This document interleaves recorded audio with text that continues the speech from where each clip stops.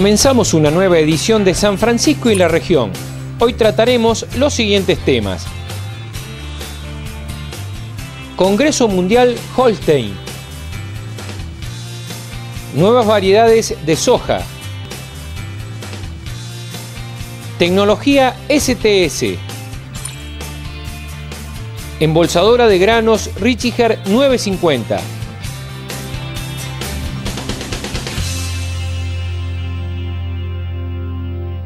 Durante el Congreso Mundial Holstein, que se desarrolló en la rural de Palermo, coordinado por ACHA, la Asociación de Criadores Holando Argentino, entrevistamos al presidente del comité organizador, ingeniero Máximo Ruz, que destacó la importancia del evento.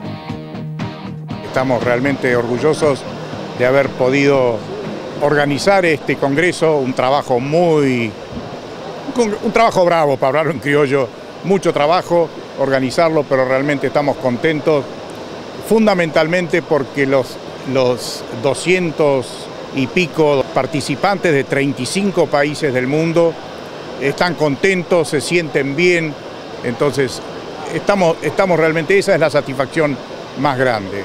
Estos congresos eh, se organizan cada cuatro años, eh, quien convoca, digamos así, eh, estos congresos es la Federación Mundial Holstein, que es la federación que nuclea a todas las asociaciones de creadores del mundo y de la cual nosotros como Asociación Creadores de Holando Argentino somos miembros.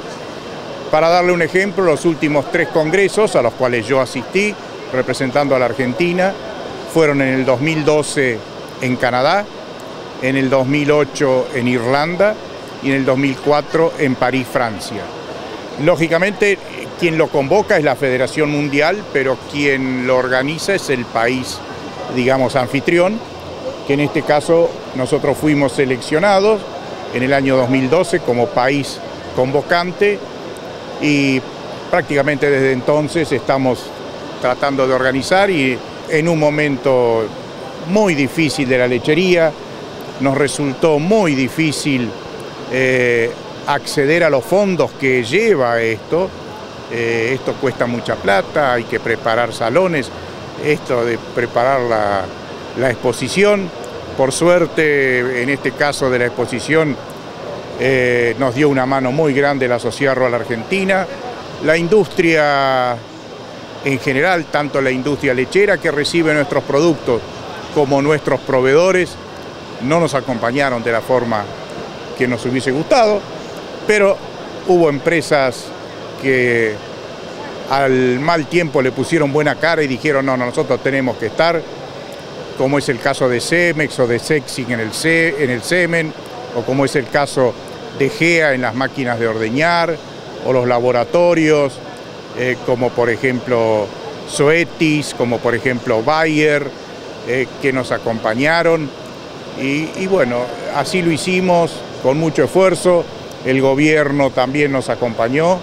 Máximo, ¿cuáles son los temas que se trataron aquí? Los temas son todos los temas que hacen a la producción lechera y todos los temas que hacen a la genética y a la cría del holando argentino, desde la conformación de la vaca lechera, tuvimos participación de una personalidad muy importante como es el doctor Gordon Atkins, profesor de la Universidad de Calgary, que dio una brillante conferencia sobre la, cuál es la conformación de la vaca lechera del futuro. ¿Los cuáles?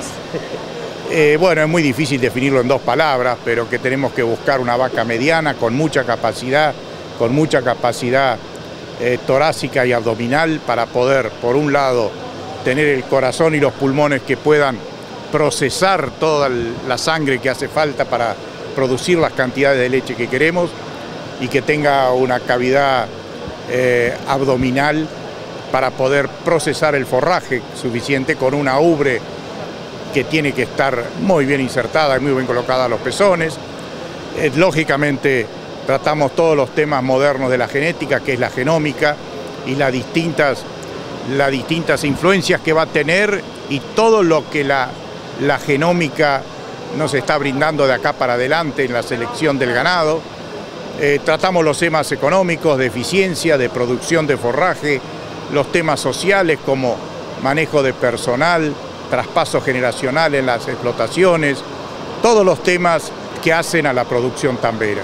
Nosotros acá en la Argentina tenemos un nivel de vacas extraordinario, no solamente las vacas que usted ve acá en la exposición, sino en general nuestro rodeo en los últimos 30 años ha mejorado de una manera fantástica y las vacas que tenemos nosotros son las mismas vacas, de hecho estamos usando la misma genética que en todas partes del mundo, los mejores toros se usan aquí también, además de los mejores toros nacionales eh, obtenidos de las mejores vacas que se destacan en la Argentina. Por otro lado, ¿Se busca unificar criterios en cuanto a la vaca en sí? Sí, lógico. Una de las partes de este Congreso fue el, Comité de Armonización de Tipo y el eh, trabajo del workshop de calificadores, la reunión de los calificadores, donde participaron 43 eh, calificadores de casi 30 países, 31 países, que se reunieron aquí en, la Argentina, en Buenos Aires la parte teórica y en un establecimiento Campazú aquí cerca eh, para la parte práctica, para discutir justamente la armonización para que podamos, cuando vemos un pedri o un papel de una vaca de la República Checa, de Suecia o de Estados Unidos o de Brasil o de Uruguay, podemos directamente al ver esa esa calificación por tipo, saber que está vista sobre el, sobre el mismo padrón. Por último, ¿qué reflexión final puede decirle a los productores y a los argentinos en general? Eh, sobre el simposio les digo que aprovechen, la asociación va a publicar eh, todos los trabajos, que aprovechen, que los miren, que los lean, que lamentablemente la situación de la lechería en la Argentina hizo que no participaran todos los productores que deberían haber aprovechado esto, porque la situación es realmente muy, muy complicada. Pero bueno, diríjanse a la asociación eh, y gustosos les vamos a alcanzar los, trabajos. El ministro, el secretario de lechería de Santa Fe, eh, el doctor Morini, eh, nos pidió, él estuvo participando del simposio, y él nos pidió las conferencias para publicarlas y hacérselas llegar a todos los este, tamberos eh, santafesinos.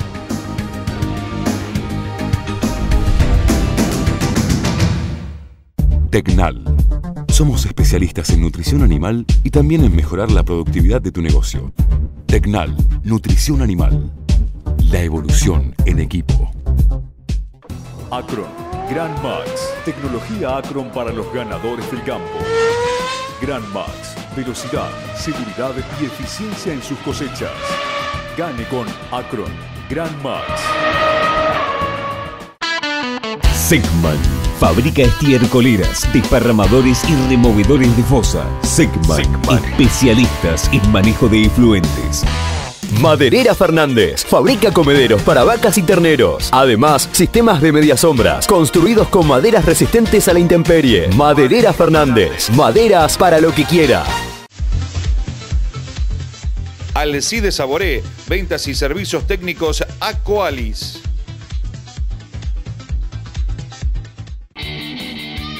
Asegúrate contra granizo en la segunda, donde los primeros somos.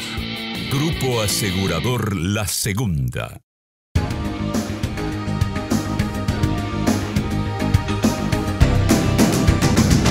En Porteña, provincia de Córdoba, y organizado por la firma Inagro SRL y el semillero Don Mario, presentaron un lote implantado con nuevas variedades de soja.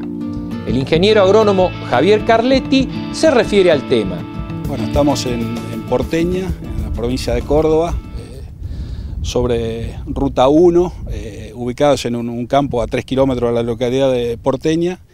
Y bueno, junto con la firma Inagro, este, haciendo estas jornadas que nosotros llamamos Don Mario Más, eh, que son jornadas donde precisamente la palabra Don Mario Más significa un, manejo superior y habla un poco de, lo que es este, lo que hacemos hincapié nosotros, que es este, tratar en esta jornada de respetar lo que le llamamos nuestra trilogía base, que es este, genética, eh, manejo y calidad.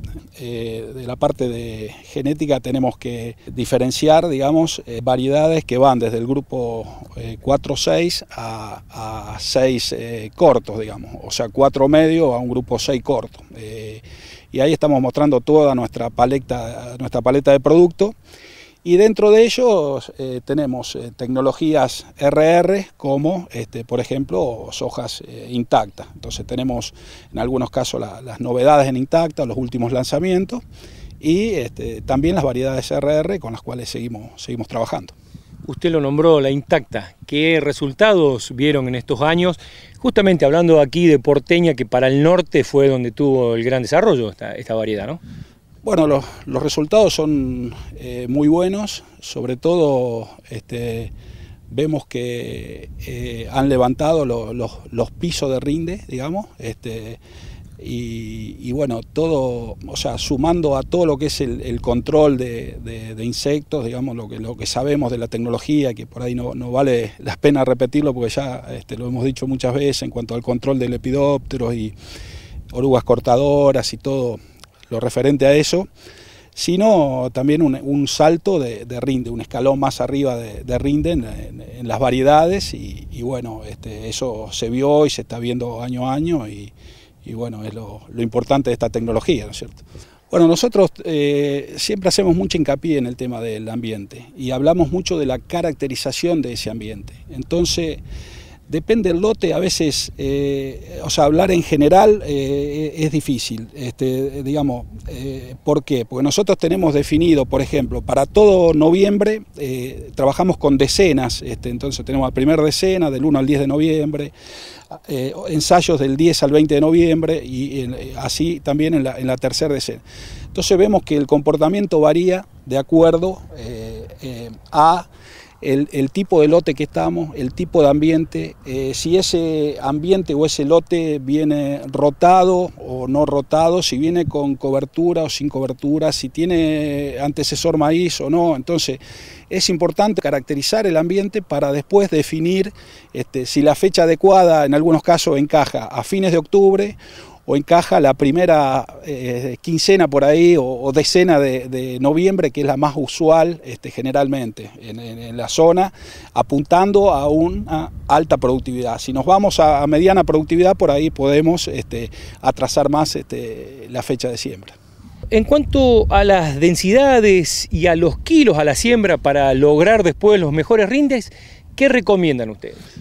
Bueno, un poco lo que te, te venía comentando, dentro de las prácticas de manejo nosotros eh, hacemos también este, ensayos de densidades y eh, es en esos ensayos de densidades en las distintas zonas donde después nos basamos para hacer las recomendaciones. Este, eh, tenemos ensayos con 150.000 plantas, con 250.000 plantas, con 350.000 plantas y así sucesivamente en las distintas zonas que trabajamos. A veces la curva óptima de rendimiento la alcanzamos con eh, 280.000 plantas, por ejemplo, a cosecha. Estamos hablando de este, en siembras de primera eh, con 26, eh, 28 eh, semillas logradas por metro cuadrado. Entonces, eso se logra en términos prácticos para el productor, dependiendo del peso de mil semillas, hablamos de una semilla de calidad certificada, con eh, menos semilla de lo que a veces habitualmente usa el productor. A veces con 55 kilos, 50 kilos, este, logramos esa densidad óptima este, en la práctica que nosotros necesitamos para, explotar el máximo rendimiento. Por supuesto, eso tiene que ir acompañado de un paquete tecnológico, ¿no? Obviamente, eso acompañado de un, de un, paquete tecnológico y bueno, nosotros dentro de la trilogía que te comentaba anteriormente destacamos mucho el tema de calidad y bueno, nosotros eh, hacemos hincapié en el tema de, no solo del paquete tecnológico, de fungicidas, este, eh, todo el paquete desde el inicio del, ciclo, sino también el tema del uso de semilla fiscalizada, el uso de semilla de calidad y con los poderes eh, germinativos este, adecuados. El productor le digo que siga confiando en los, productos de Don Mario, que Don Mario se está focalizando cada vez más en, en producir este, en todas las zonas, no solo en la, región núcleo del, país, este, en cada zona y abriéndose cada vez más y llegando al productor este, de las distintas regiones, a través de esta jornada y con focalizando en genética y con manejo y tratando de que lograr mayores rindes. Entonces el mensaje es que siga confiando en nuestro producto, que tenemos variedades muy buenas de distintas tecnologías adecuadas para este, hacerlo crecer y aumentar este, su producción en el campo.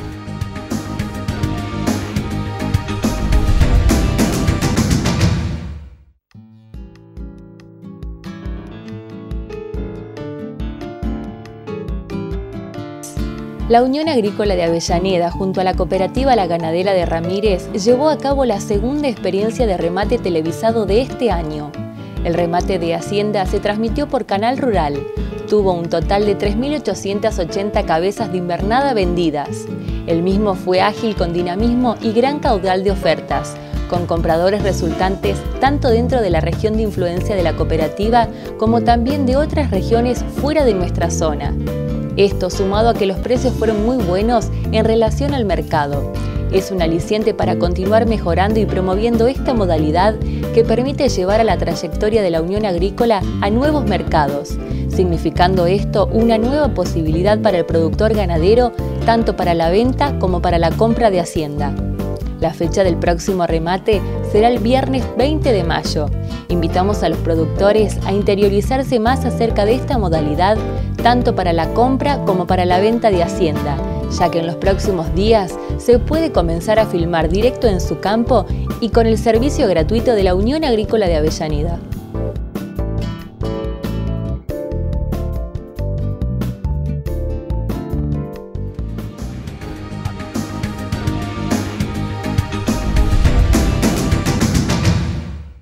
En la jornada de Porteña, Dupont presentó la tecnología STS, la ingeniera agrónoma Natalia Oliveto explica este desarrollo. Bueno, desde Dupont estamos participando para todo lo que es la tecnología STS, estamos haciendo, eh, digamos, participando de las reuniones para darle, digamos, eh, conocimiento a lo que es nuestro producto Ligate, para todo lo que es la tecnología, como te decía, STS para todo lo que es un herbicida, ¿sí? una mezcla de dos sulfonilureas, para todo lo que es el control de malezas difíciles. Es una herramienta que va de la mano con, todas las, variedades que son STS, que hoy en el mercado hay una amplia gama de ellas en todos los grupos. Justamente, esta tecnología, ¿qué producto es? ¿Cómo se aplica? ¿Cuándo se aplica? ¿Y, sobre qué eh, cultivos? Bueno, como te decía, sí o sí va de la mano de lo que son las hojas STS, es eh, la mezcla de dos sulfonilureas, y sulfometurón y clorimurón. Eh, el motor del producto en sí es el, sulfometurón.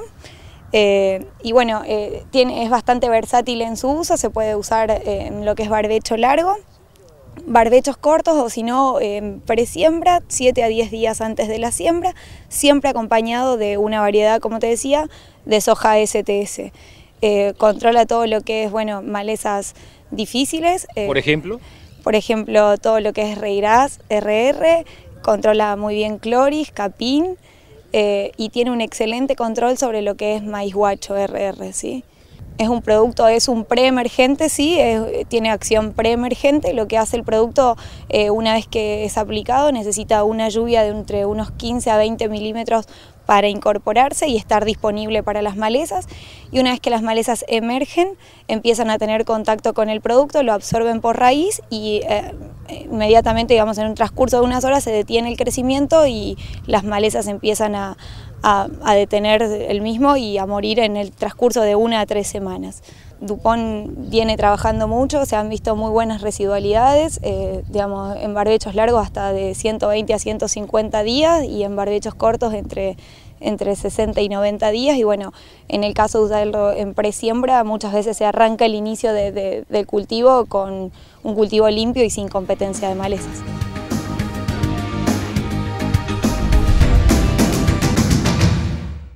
Vulcano presenta equipos para el agro. Mini pulverizador de 12 volts con botalones regulables. Equipo portátil y liviano. Montado sobre tráiler con botalones plegables y de altura regulable Vulcano, equipos para lubricación. En New Holland sentimos el campo de la misma manera que quienes lo trabajan. Por eso creamos productos y servicios de alto valor. New Holland, junto al productor, generando valor. Aran Tecnologías, representante DIE, Trimble, Delver, Caimán. 10 años ofreciendo agricultura de precisión. Aran Tecnologías, usted sabe de campo, nosotros de precisión. Doble T, su marca fuerte en rastras, desencontradas de 20 a 96 discos. Doble T, Fortaleza Argentina en rastras.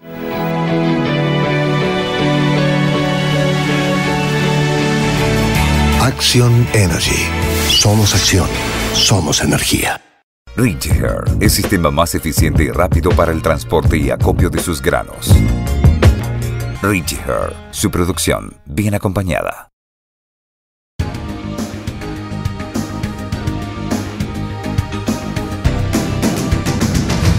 El ingeniero agrónomo Gustavo Ristorto, que pertenece a la fábrica de implementos Richiger, presenta datos técnicos de la embolsadora de granos secos modelo R950. Bien, la idea de Richiger es mostrar una máquina que cumple el rol eh, de embolsadora de granos enteros y granos partidos. Los granos partidos pueden ser secos y húmedos la tecnología ya bastante avesada en el tiempo, porque ya más de 90 años que se está desarrollando este tipo de tecnología en grano partido húmedo, es uno de los detalles que queríamos hablar. Esta máquina es una máquina que tiene un doble rodillo triturador. Estos rodillos vienen con tres formas de, dientes, o sea, para sorgo, el normal y para granos gruesos como el, maíz. Y eh, una de las cualidades que tiene es que no solamente lo tritura, sino lo embolsa. Aparte de eso puede embolsar grano entero, ¿no es cierto? Como le decía. El grano húmedo tiene la, cualidad de que uno, eh, una vez que eh, ingresa el grano dentro del silo, va desalojando este, todo el, oxígeno y se genera una fermentación láctea.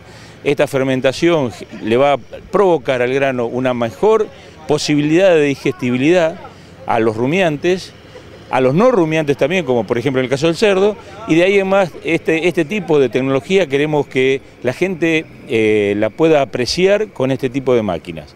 Para este tipo de máquinas necesitamos 110 HP aproximadamente, viene un modelo de máquina con un solo rodillo que es prácticamente igual, vienen de 6 pies, de 9 pies, pero eh, necesita menos cantidad de HP, estamos hablando de 80 HP este, para manejar eh, estos equipos. Otra de las cualidades que tenemos que eh, esto anda muy bien en la, lechería, eh, en los feedlot. Eh, es un planteo muy interesante porque todo el grano que se fermenta dentro de esta bolsa, esa fermentación le genera un aprovechamiento total de ese grano y aumenta el aprovechamiento de parte del animal. Y esto es las cualidades que tenemos que tener en cuenta en este momento que el maíz es caro. El año pasado el maíz era barato.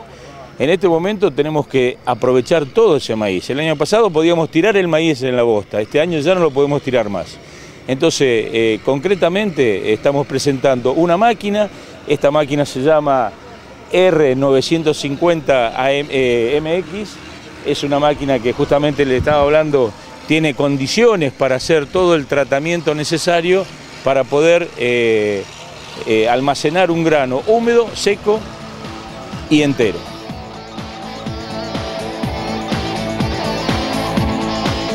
Hasta aquí llegó esta nueva edición de San Francisco y la región.